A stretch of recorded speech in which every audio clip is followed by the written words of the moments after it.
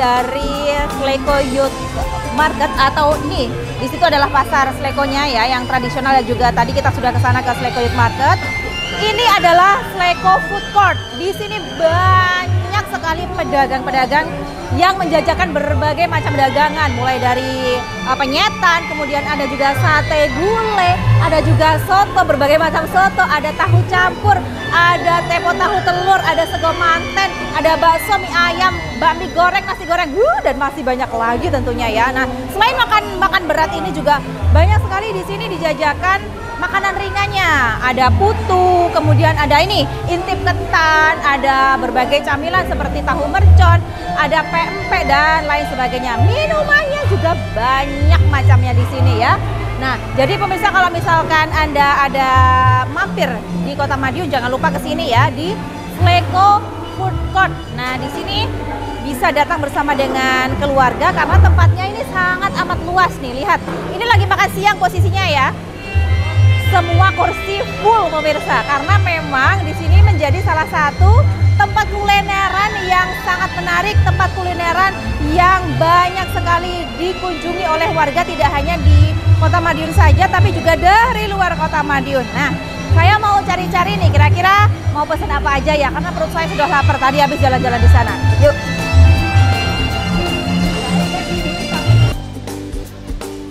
Ya, wajah baru pasar Sleko lainnya adalah Sleko Food Court ini. Salah satu pusat wisata kuliner di kota Madiun yang satu ini mengusung konsep food court kekinian. Jika Sleko Youth Market menyasar kalangan anak muda, Sleko Food Court ini menyasar semua kalangan.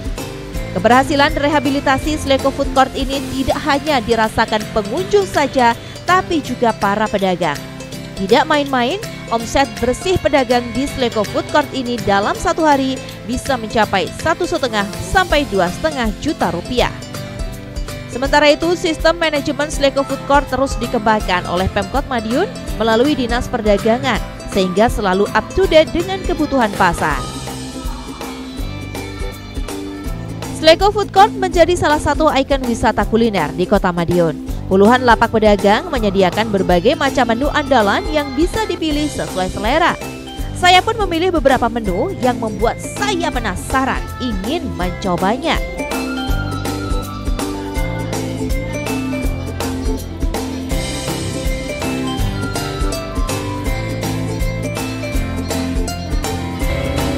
Kan udah jalan-jalan melihat Sleko Youth Market ya, di mana sebentar lagi akan grand opening dan kita nantikan bagi anak-anak muda yang ada di Kota Madiun bisa nongkrong dan juga berekspresi di Sleko Youth Market. Laper kan? Terus kita jalan ke sebelahnya ya yang masih ada di kompleks Pasar Sleko yaitu di Sleko Food Court. Nah, ini aku udah pesen beberapa banyak ya menurutku, tapi karena penasaran dan ingin mencoba gitu kan, aku pesennya agak kalap nih pemirsa, nggak apa-apa ya. kan ada kameramen saya banyak kira-kira, uh, tapi jangan deh ya, saya mau makan semuanya. Baik, saya akan mencoba dulu dari ini.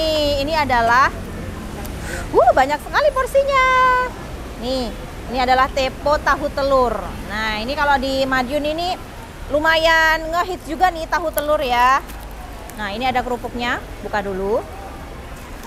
Uh, pas banget ini lagi lapar. Oke, ada telurnya, telur tahu, tahu telurnya, ada lontong. Lontongnya ini. Terus ada kecambah, ada daun seledri dan juga ada acar mentimun. Katanya, katanya ini yang khasnya itu bumbu bumbunya ini nih pemirsa nih. Nah, bumbu ada kecapnya ini. Oke, langsung aja kita coba ya. Saya wakilkan ya. Ini kalau yang warga-warga Madiun yakin deh pernah makan tepo tahu telur yang satu ini nih. Oke, kita coba. Bismillahirrahmanirrahim. Hmm. Ternyata tadi kan aku pesan yang pedas. Kalau menurutku sih emang ini rasanya pedas. Kemudian bumbu kecapnya ini juga ada sedikit apa ya petis ya. Nah itu yang bikin nikmat banget rasanya. Oke, Ini sih buatku recommended ya, apalagi porsinya sebanyak ini ya kan. Hmm, enak. Lanjut lagi, kita coba dulu yang karena penasaran banget ya. Ini adalah lontong cap gome. Mangkoknya otentik ya pemirsa ya. Baik. Nah ini sambalnya dipisah nih. Terus ada kerupuknya. Nah, wih ada ayamnya. Ayamnya utuh loh. Potongannya maksudnya, bukan ayam utuh satu ekor ya. Ada ini sayap, Oh ada tambahan lagi. Nih potongan sayapnya. Ada satu telur utuh. Hmm, yummy. Ada sayurnya, sayurnya manisa. Dan tentunya ada lontongnya. Nah, aku mau coba kuahnya dulu ya. Oh iya ada bubuk kedelainya. Coba dulu ya kuahnya. Bismillahirrahmanirrahim. Hmm, enak. Jadi santannya kerasa, bumbunya juga kerasa nih. Kalau uh, buat yang uh, keluarga gitu ya, sama orang tua itu pasti suka ini. Lontong cap gomeh.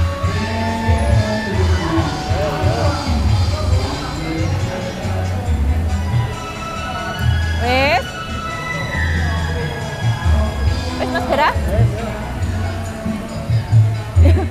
yang terakhir ada lagi nih sego manten. Nah, kayak gini isinya ada acar, ada e, lapis daging, ada ini sambal goreng kentang, ada telur dan ada sambalnya.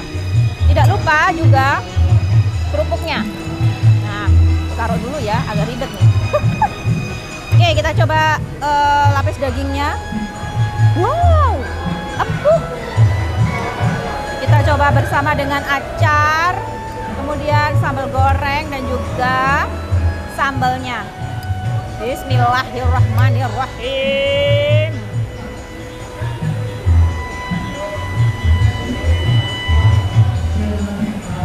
Tapi dagingnya empuk, bumbunya legit banget, sambalnya pedes, pedes mantep pokoknya.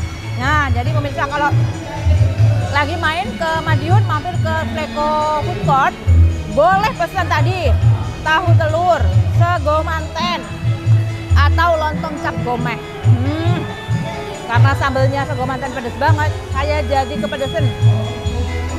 Tadi saya juga pesan beberapa minuman. Hmm.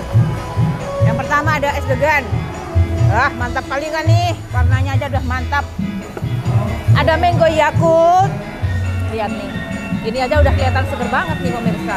Kemudian ini nih yang membuat saya tertarik adalah sebuah jumbo banget ini ya porsinya.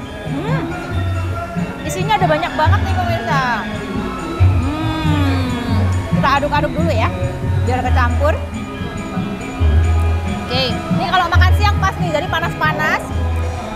Makan siang di sini, pesennya sebuah, wah seger porsinya jumbo juga ya kalau saya makan uh, tahu telurnya plus ini kayaknya kenyang sampai nanti malam ini ya.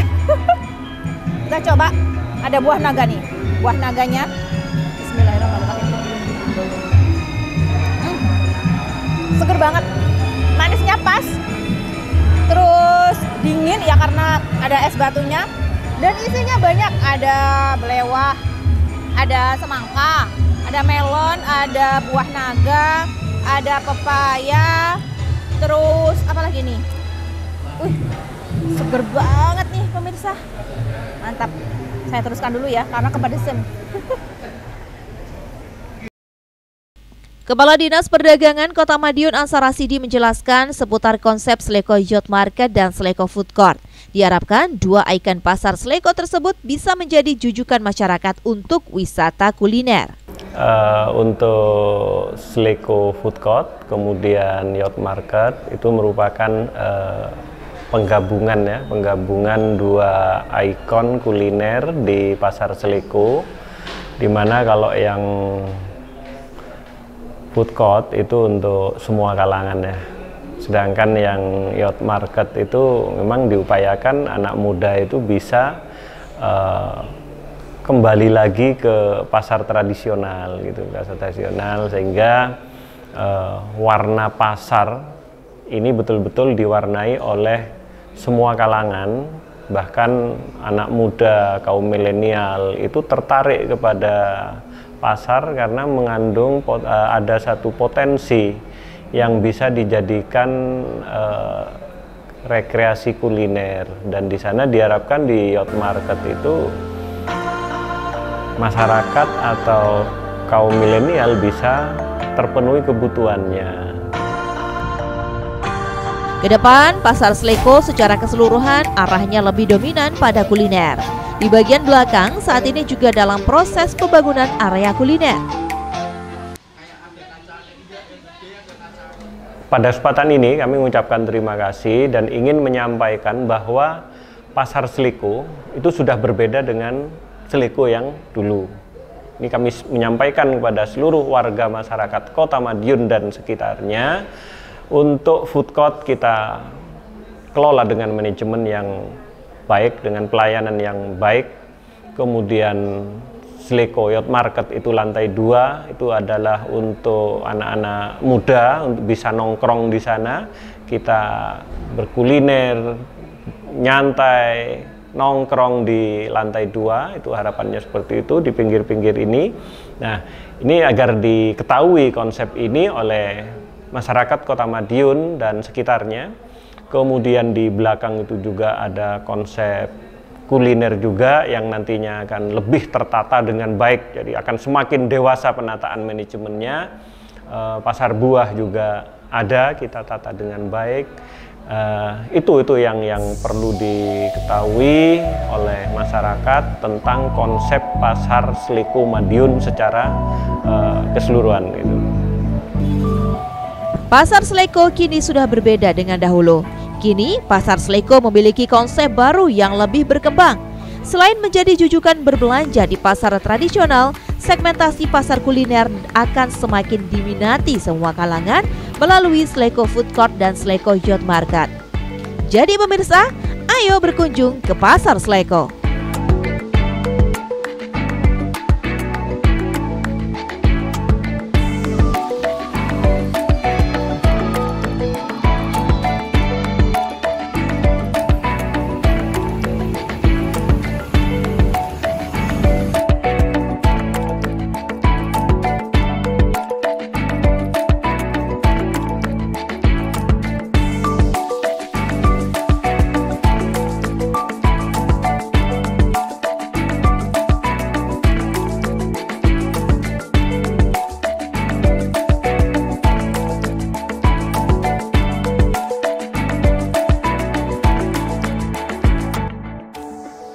Acara ini dipersembahkan oleh